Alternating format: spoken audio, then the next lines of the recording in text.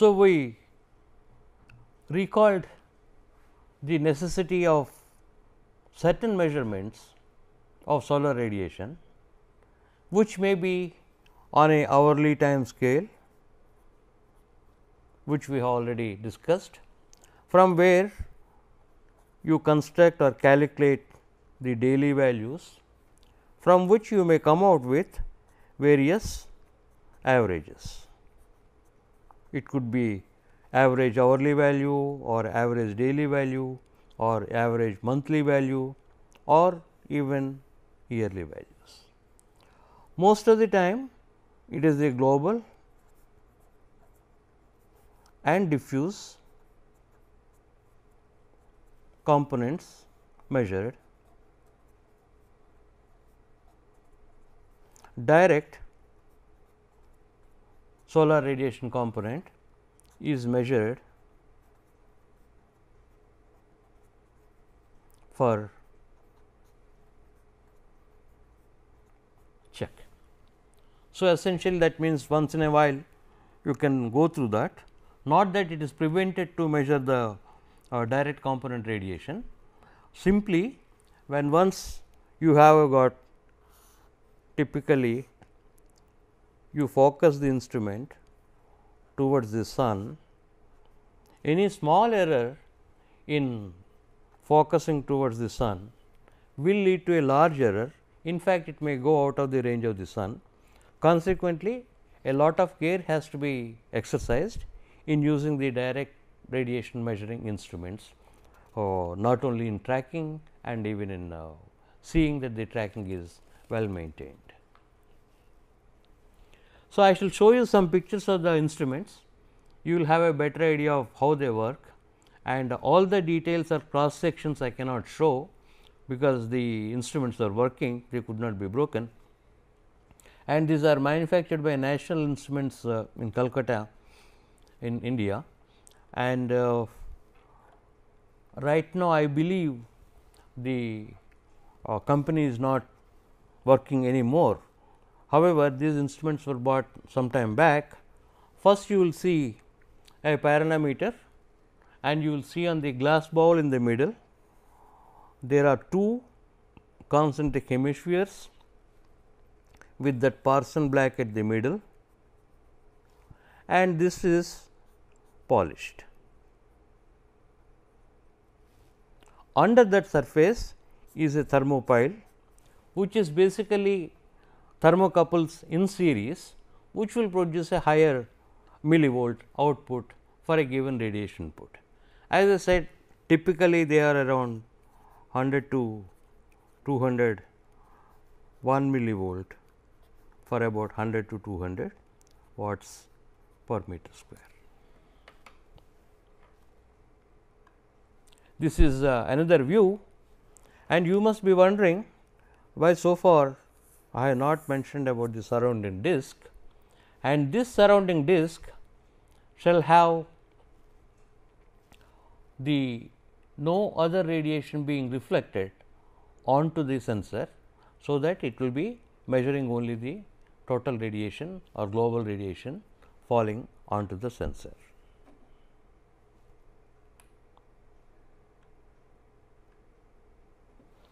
Now, this is to measure the diffuse radiation and basically you can see that the instrument is the same, but there is a large ring which you can see and uh, that ring shadows the sensor which is the bowl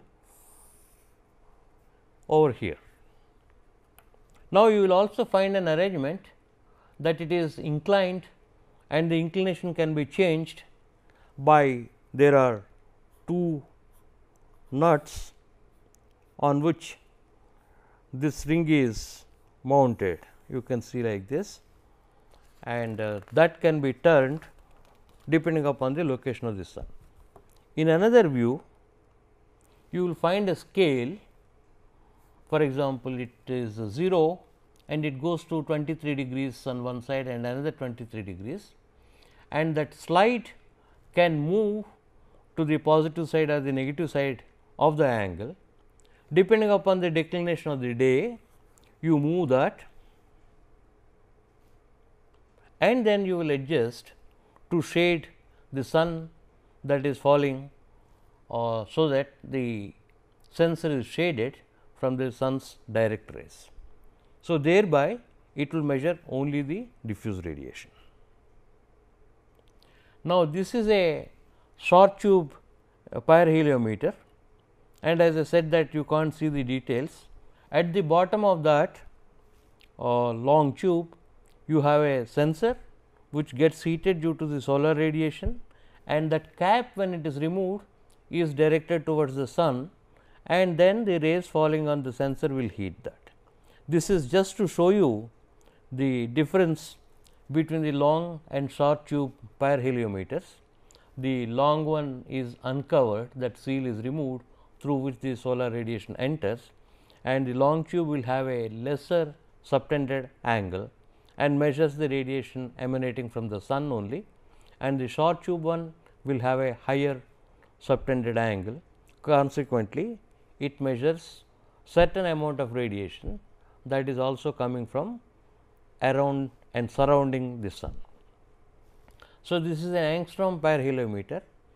Basically, the sensor mechanism is different in the sense it uses a null detecting system like if you are oh, in electrical technology post office box if I remember right my undergraduate electrical engineering. You try to balance so that the current passing through a particular circuit is 0 thereby giving you a measurement of the uh, voltage generated or the power that is consumed. Now, we come to your uh, dependable sunshine recorder. It does not require uh, uh any power. And this is a view. Of course, there is a lot of uh, reflection, but this is a better view. And there you will find that uh, black strip at the bottom of this glass bowl. And you see on to the right a little bit of charred portion which I am also showing it uh, in an enlarged view somewhere uh, in this area you will find a black charred portion.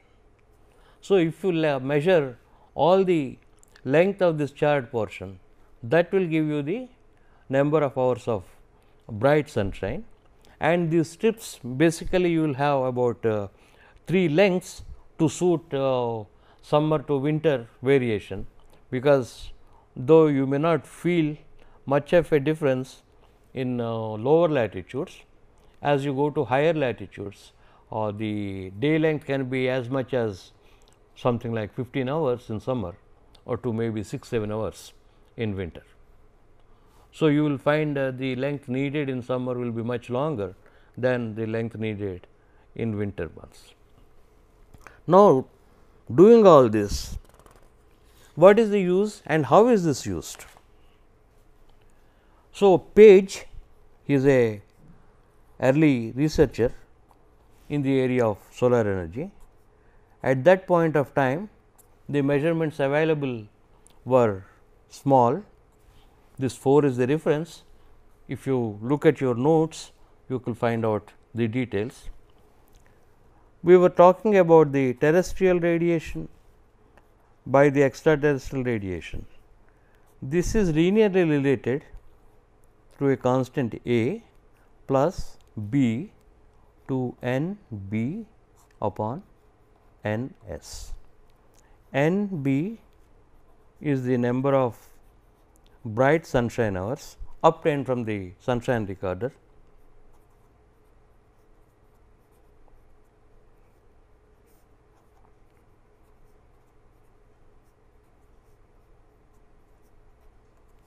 And N s is the possible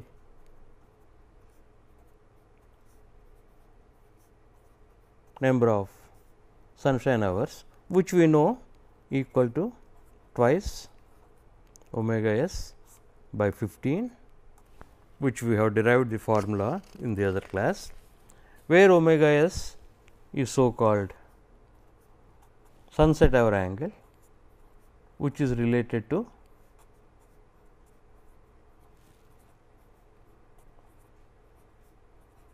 the latitude of the location and the declination.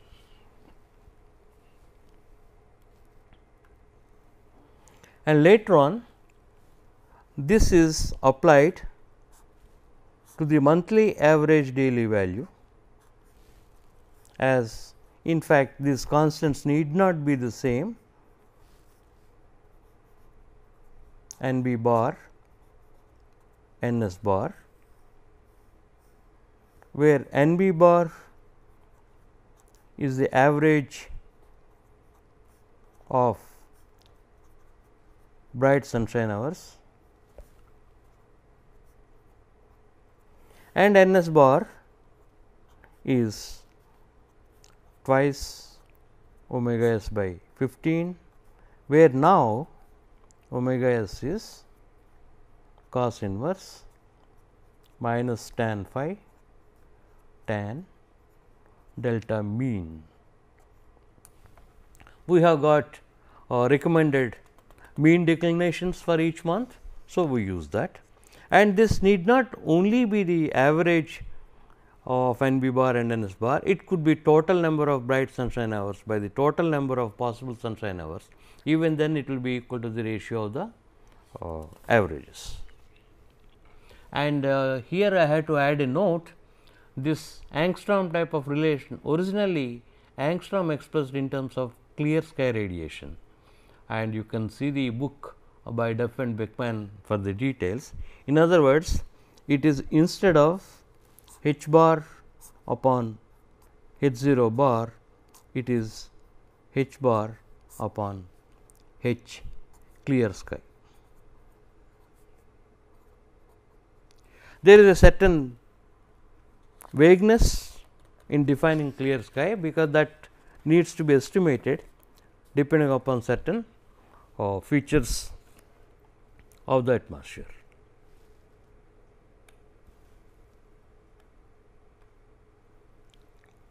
So, now where do we stand? We have a method of estimating h or h bar and if we make use of detailed instruments like pyranometers, we may have I and I d and hence I b equal to i minus i d. So, most of the time the time scale is about 1 hour and uh, few measurements are available at smaller intervals. That is the reason is for a well distributed day we have seen the solar spectrum to be something like this up to 4 microns and if you take a 1 hour interval unless there is a sudden cloud cover or uh, rain uh, the chances are you may not have such a wild fluctuation. So, if you take this is approximated by a straight line or you can make it an equivalent rectangle and if you have 1 hour radiation by a known distribution like it's linear or parabolic you can distribute it into quarter hours or half an hours. Though one has to think about whether that accuracy is needed or called for depending upon the model that you employ to estimate the performance of a solar collector or a solar energy device system in general. So, now if you do not have all the details, you may have only h y bar. I am making the broadest possibility or you may have that is the yearly average radiation from which you have got h bar for each month.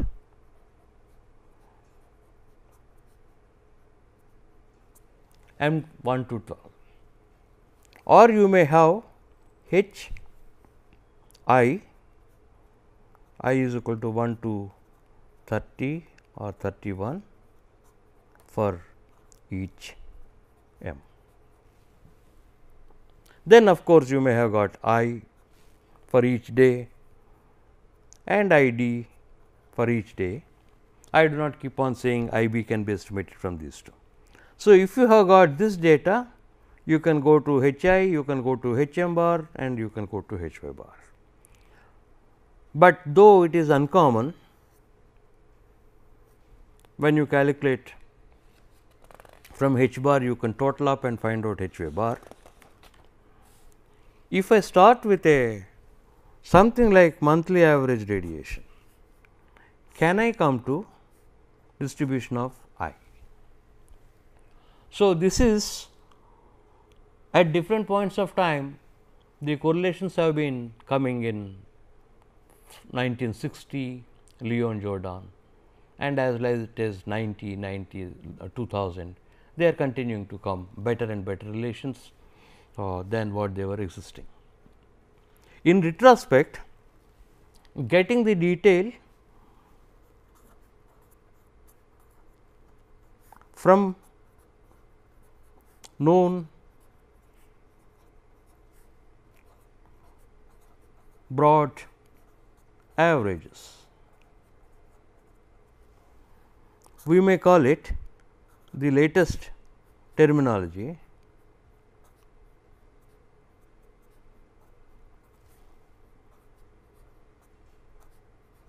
synthetic data generation.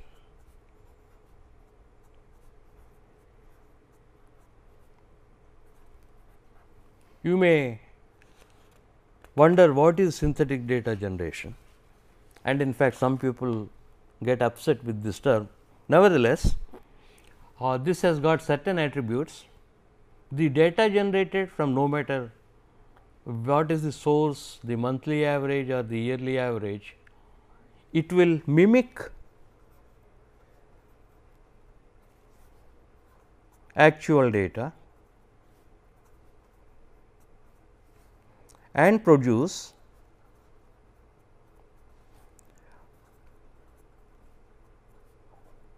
reasonable long term results.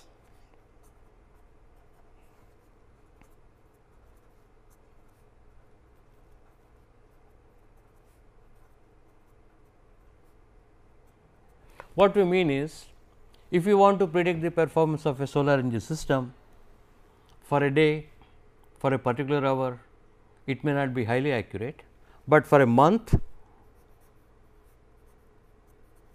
okay. For a year, it may be even more okay. So, since our economics is likely to be based upon year and if it mimics the month distinction let us say between winter and summer reasonably well uh, our job is done. It is not essential how much is exactly produced on January 1, 2nd, 3rd, 4th like that and if I can have a January average it is good enough because in any case next year it is not going to be reproduced and even if you use the actual data that actual data also belongs to some year or average of few years. So, that scheme again towards the end of these lectures we will come to that in detail, but at the same time I just gave an introduction to whatever classically available can be considered as part of a synthetic data generation scheme. Original diffuse fraction correlations.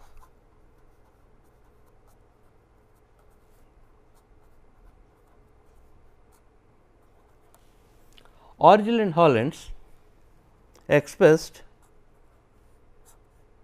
the ratio of diffuse radiation to the global radiation as a function of hourly clearness index which you may recall is equal to i upon i 0 which we have discussed in detail. Of course, this relation I will not reproduce here i d by i is uh, 1 of minus 0.249 k T uh, depending upon the value of the k T. Similarly, another relation for k T between 0.35 and 0.75 and you have a 0.177 for k t greater than 0.1. So, if you try to plot this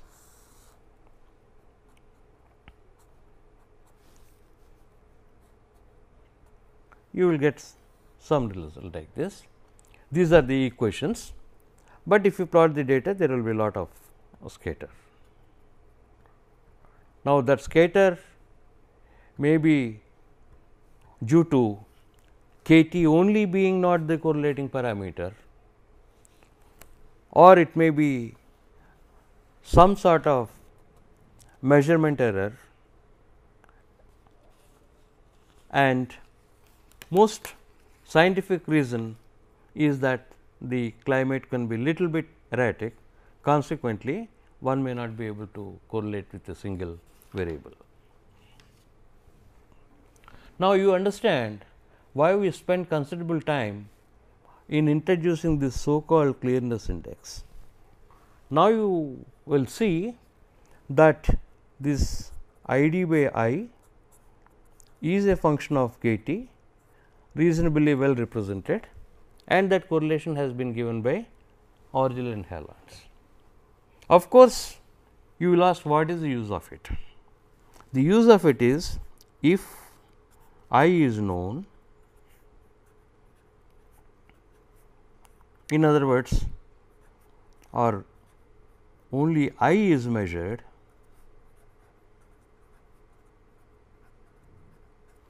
we can find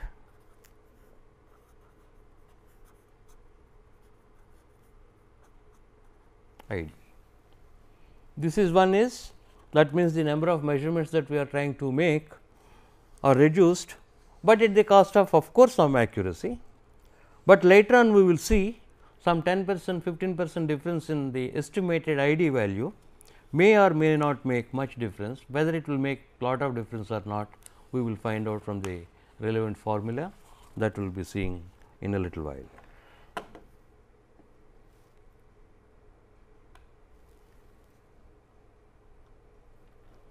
Similarly, Collares Pereira and Rabl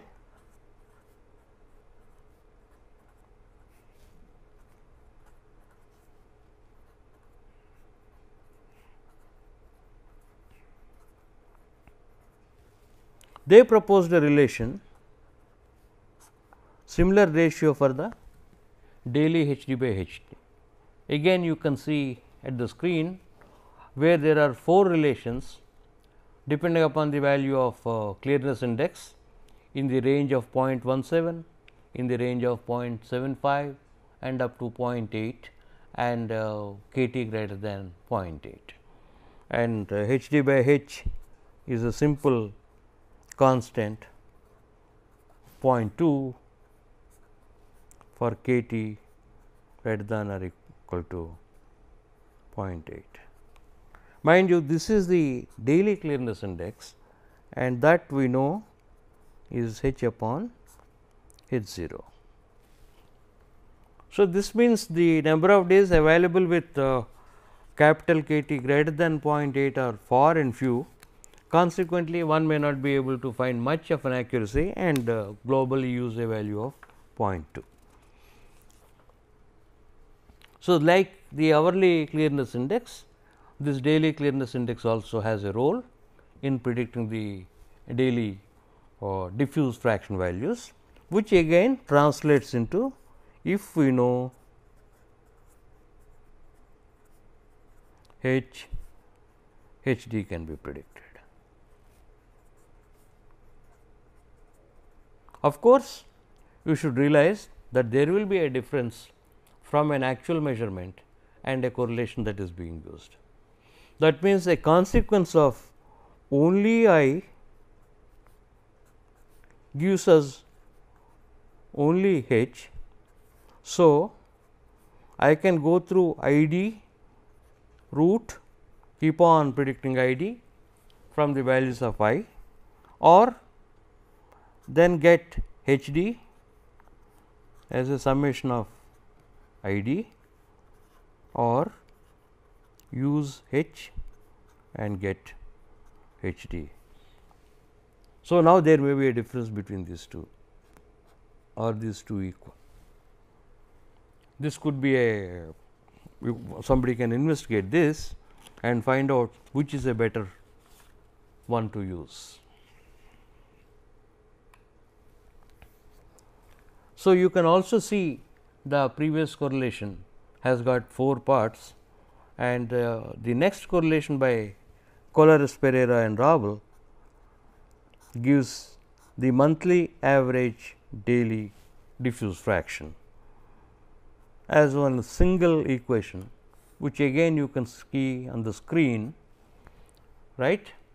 And now this is a function of k t bar and omega s. If you see this December and June omega s can widely vary. Consequently, if you have a large uh, omega s like in summer, then h d by h value will be or you can calculate I think it will be lower and if you have a small omega s you may have a higher diffuse fraction. Okay. So, you can just check up for a value of omega s uh, let us take 120 omega s 80 and find out what is h d bar by h bar. Then as a food for thought you can try to explain on a physical basis why h d by h is larger or smaller if you have a higher or smaller omega s. Also again some sort of a uh, task for you to set you thinking. If you have got a function of k t and omega s, we know that path length depends on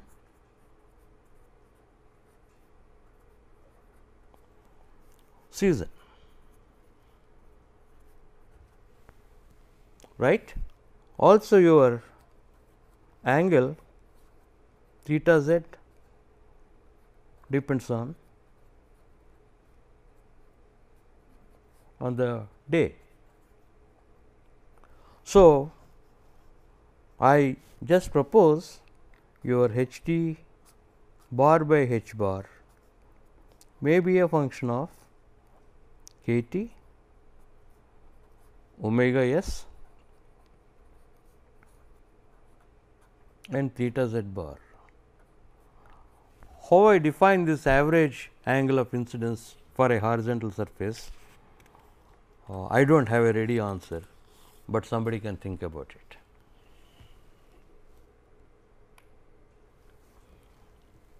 So, now Again I can find out the diffuse fraction for the monthly average day given the monthly average global for similarly for the day and similarly for the hourly values. Then originally Liu and Jordan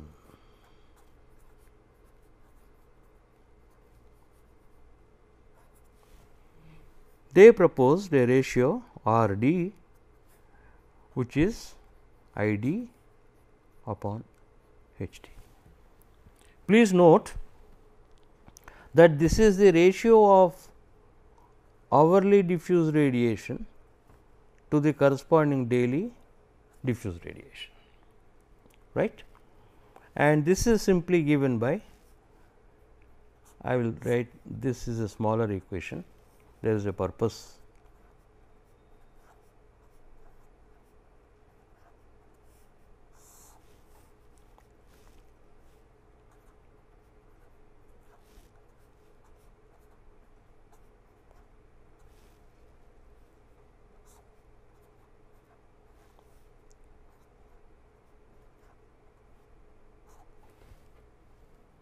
I think I shall move this a bit here. So, you can see that relation. Now, typically my I is between omega 1 and omega 2, I 0 also the same. Consequently, I d also between omega 1 and omega 2.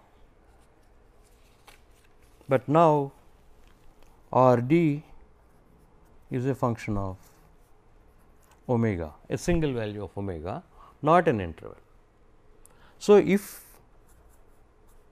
omega is the midpoint of the particular hour under consideration, my ratio of I d by H d will be for the hour centered around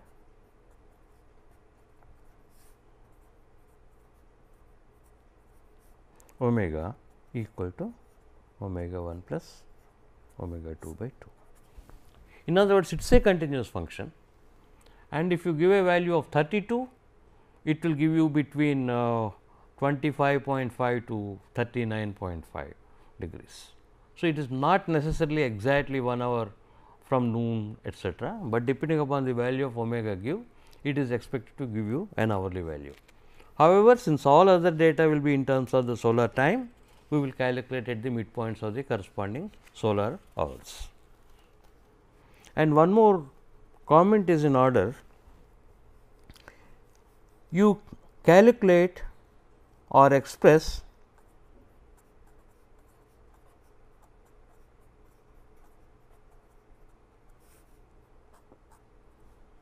I 0 by H 0 which is G 0 at omega into 3600 because we are calculating the midpoint by H 0 this will be identically equal to expression not numerical values not necessarily the numerical values.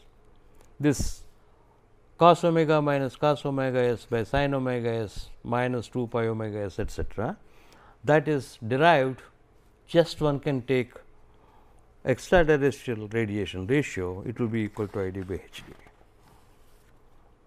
This at one point of time was a bit surprising. Later on certain issues were resolved. Now, you will also find that R d purely geometric factor. In other words, no matter what your clearness index is and if you are having a particular day length and omega, you will have exactly the same ratio. So, this is something uh, that makes you feel uncomfortable. However, more things will follow little later. Again Collares, Pereira and Rabl expressed R t which is the ratio of hourly global radiation to the daily global radiation. It is I will write it for simplicity as R d into a plus b cos omega, where a and b are given in terms of set constants and the sunset hour angle. So, interestingly this is also geometric, but these a and b were correlated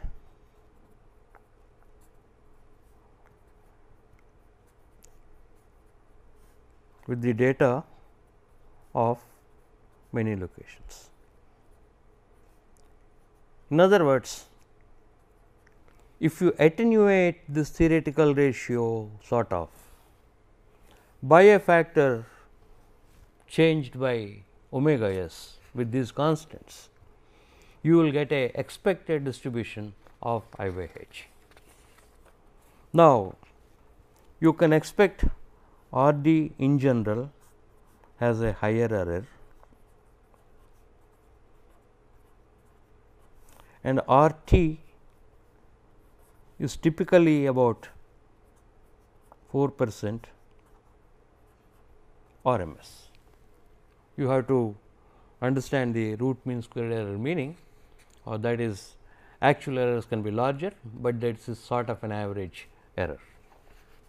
Or whatever I was mentioning, I left it as an exercise over here. Prove that R d also equals to the ratio of hourly extraterrestrial radiation on a horizontal surface to the daily extraterrestrial radiation on a horizontal surface that is I 0 by H 0. I gave you sufficient hint you can just verify and uh, make sure uh, that what I said is right.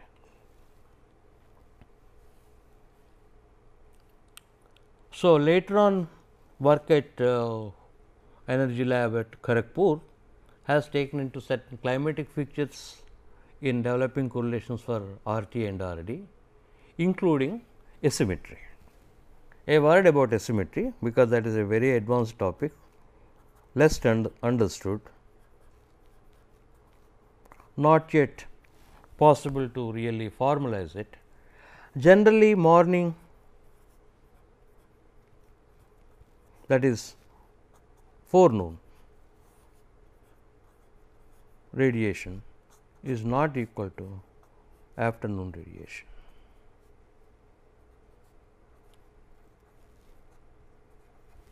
If you look at these correlations, it looks like solar radiation distribution is symmetric around solar noon, whereas uh, in reality uh, the morning may be higher than the afternoon radiation and vice versa. There is no specific geometric bias but both kinds of locations are observed. It has got to do with a lot of uh, meteorology, uh, which is responsible for the formation of orographic clouds, which sometimes will produce more diffuse radiation or more cloud cover affecting the radiation in the forenoon part or in the afternoon part. Now, we will go to uh, what is meant by distribution of clearness indices. So, based upon the North American locations again Liu and Jordan.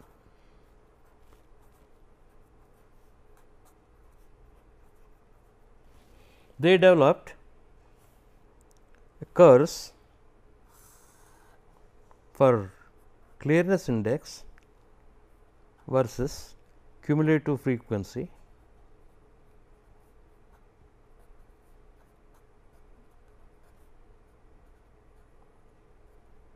which will vary between 0 to 1. I will explain in a minute what is meant by cumulative frequency. This is nothing but the fraction of the time that occurs below a certain specified clearness index.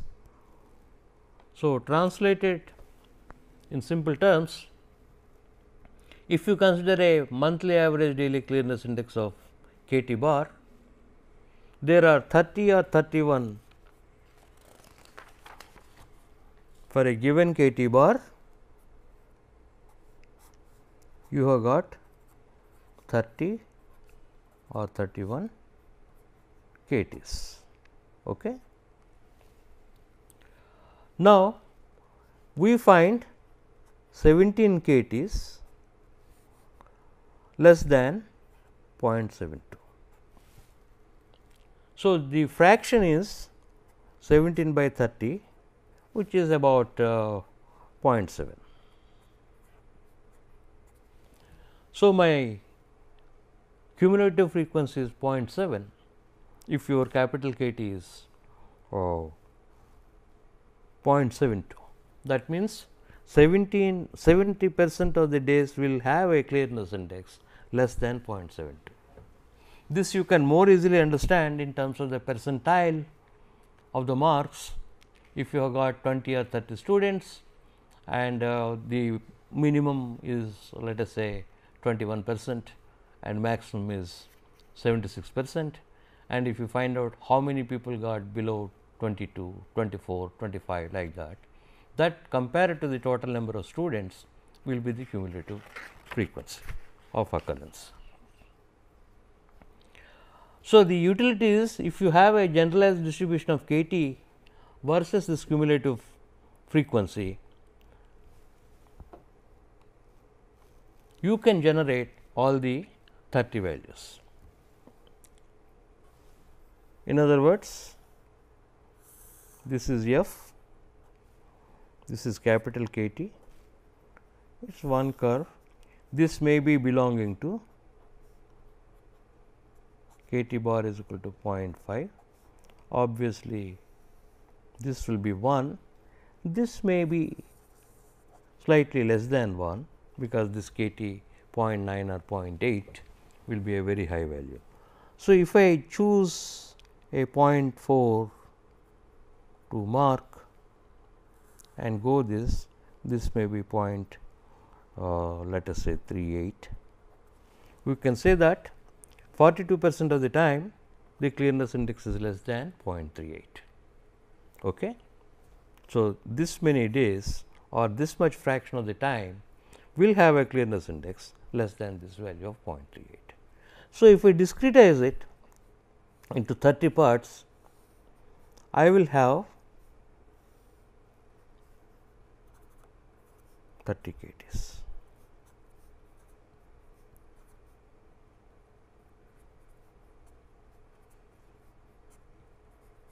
Okay.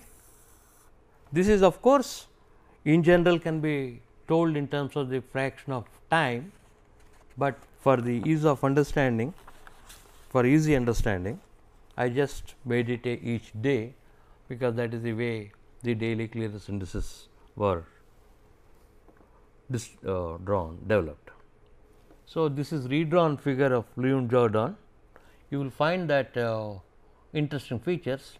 If you take a low average clearness index of 0.3 and then a higher clearness index of 0.7 sorry it does not group down it should go up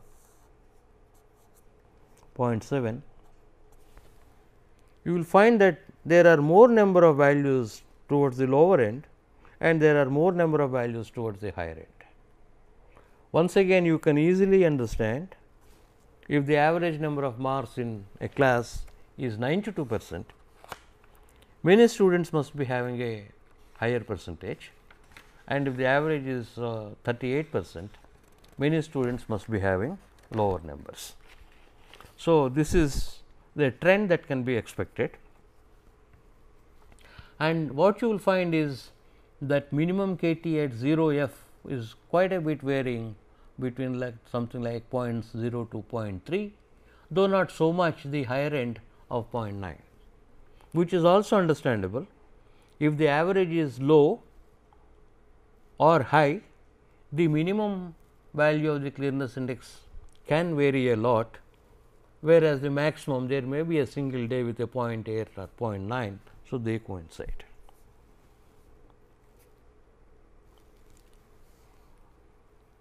So, these curves have been found to be valid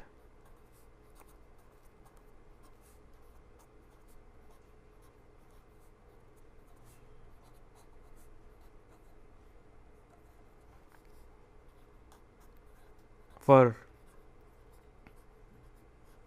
hourly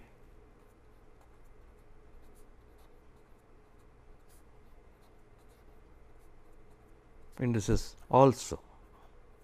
In other words, you just have the same set of curves f, you make it small k t here and this is small k t bar. So, for a given numerically equal hourly average clearness index to the daily average monthly average of daily clearness index, you have the same frequency distribution. This comes as a bit surprise and uh, could further be examined. The reason is if you have the daily values and I define the swing as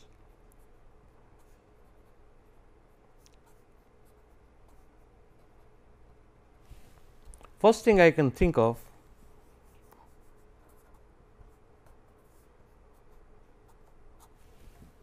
this swing can be different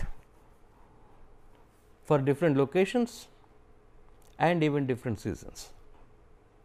For example, if you consider a uh, tropical climate like Chennai for example and more or less all the days are uniform. So, this swing will be smaller and whereas, if you consider a similar average value, but at a higher latitude there may be one cold day, there may be a rainy day, there the variation between maximum to the minimum is likely to be different. This much can be said from location to location. Similarly, if we have oh, sorry hourly k T maximum minus hourly k T minimum given k T bar for numerically equal hourly average and daily average values. The swing in the hourly values I can expect to be little higher than the swing in the uh, your daily values. So, these features uh, can still be considered and examined.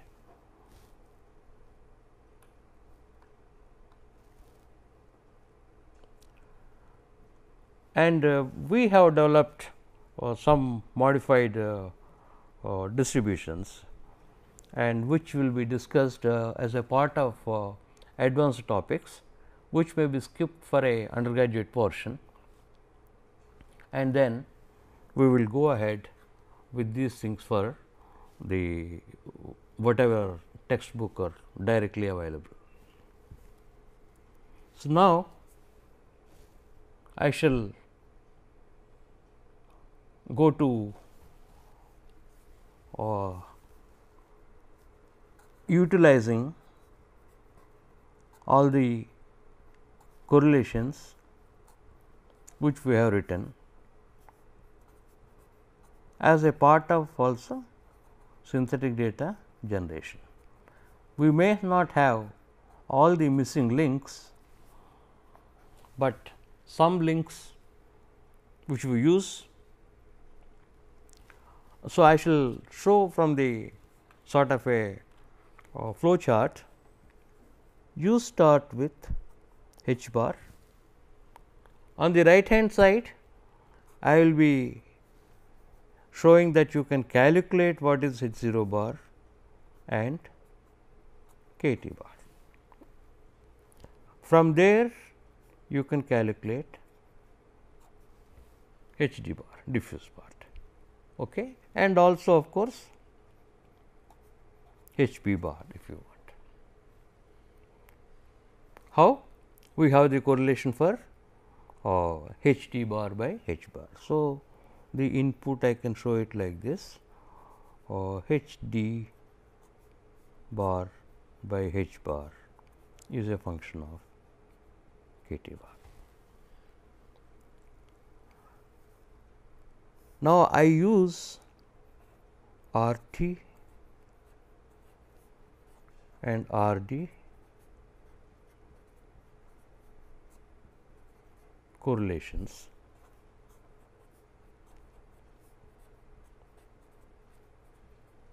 For the average day. In fact,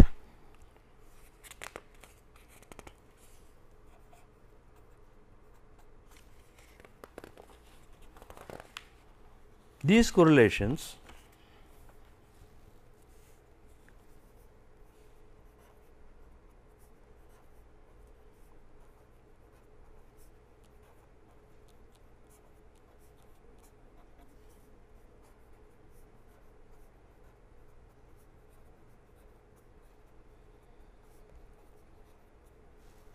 we can expect that these R T and R D correlations to yield better accuracy when applied for the average day than for a single day, because the averages will be smoothing out the hourly values and it will generate a, a pretty good distribution and that is what you have. So, if I use R T and R D correlations, then I can have what we defined earlier I bar for all hours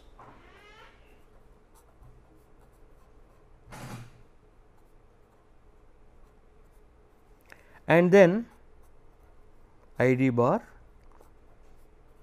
for all hours. Okay. So, let me recapitulate. I used h bar, obtained h d bar, then used R t, R d, got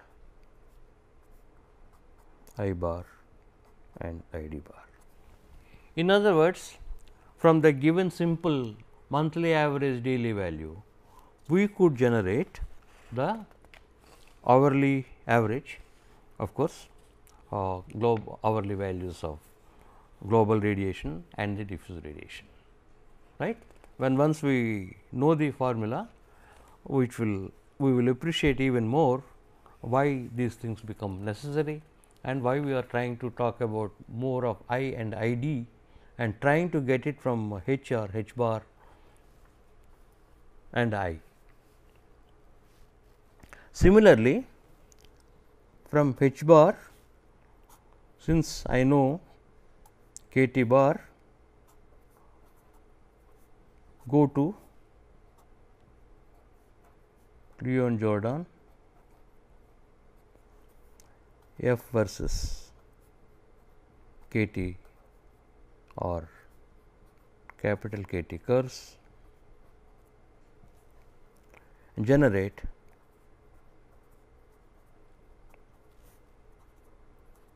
thirty K T. So, from this calculate 30 H values. When once you have now apply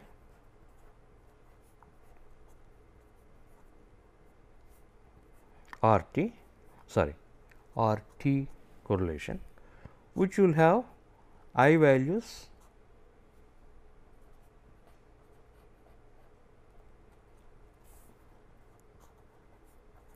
for all 30 days. So, now I have one path for each H I can get a H d by applying Collares Pereira Rabl correlation for the day not the monthly average and apply R d for each day. So, we have I d